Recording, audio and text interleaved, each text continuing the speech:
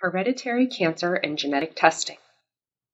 At your cancer genetics appointment, you will discuss your personal or family history, the chance there is a genetic cause for cancer in your family, as well as possible genetic testing options.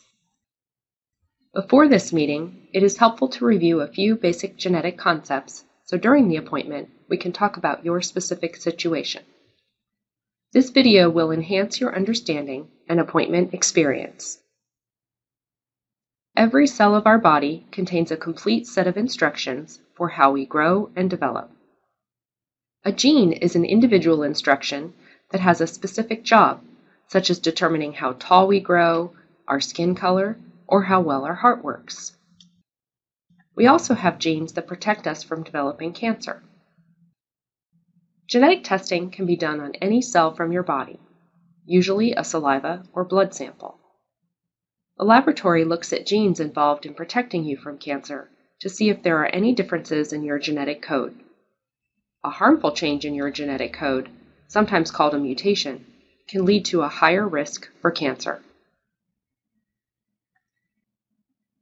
Cancer happens when there is uncontrolled cell growth due to a buildup of mutations in the protective genes in our cells.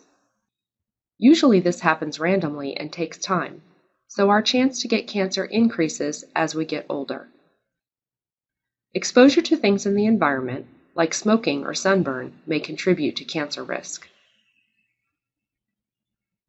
Only 5 to 10% of cancer is hereditary, meaning it is due to a harmful gene change inherited from a parent. For example, Harmful changes in the BRCA1 or BRCA2 gene are associated with a high risk for breast cancer and increase the risk for other cancers, such as ovarian and prostate cancer. There are many other genes that can be associated with an increased risk. It is important to know that not everyone who inherits a harmful gene change will develop cancer, but there is a higher chance. Knowing you have a higher risk means you or your family members might be able to have more cancer screening, start at a younger age, or undergo preventative surgeries. Even if you have cancer, this information is sometimes helpful for treatment decisions or preventing future cancers. Around 20 to 30 percent of cancer is familial, which is caused by multiple genetic and environmental factors. The risks for cancer may not be as high or well defined, and our genetic testing is just now beginning to identify some of these genetic factors, but most are still unknown. Harmful gene changes that increase the risk for cancer can be inherited from your mother or your father. You have two copies of each gene, one from each of your parents. Therefore, someone who carries a harmful gene change has a 50% chance to pass on the gene with the harmful change versus the normally working gene every time they have a child. If you decide to have genetic testing, it is important to know that there are lots of little differences in our genetic code called variants. Most of the time, variation in our genetic code is normal.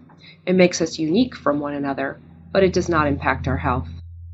When the laboratory finds a variant, they have to decide if it is normal or not.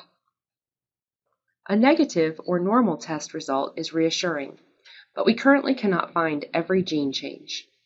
Also, we likely haven't discovered all genes that increase the risk for cancer.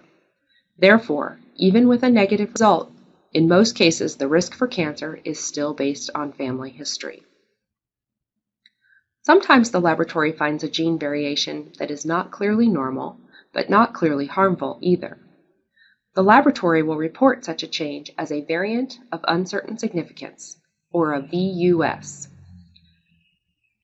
Because we do not know for sure if a VUS has a health risk, we do not use this type of result to change medical care. We also do not test other people in the family for that uncertain change because we do not know if it is meaningful. If you decide to have genetic testing, Genetic test results will be reviewed with you so that you understand what they do and do not mean. We hope that you found this video helpful in learning more about hereditary cancer and genetic testing. We look forward to meeting you to discuss how this information may be helpful for you and your family.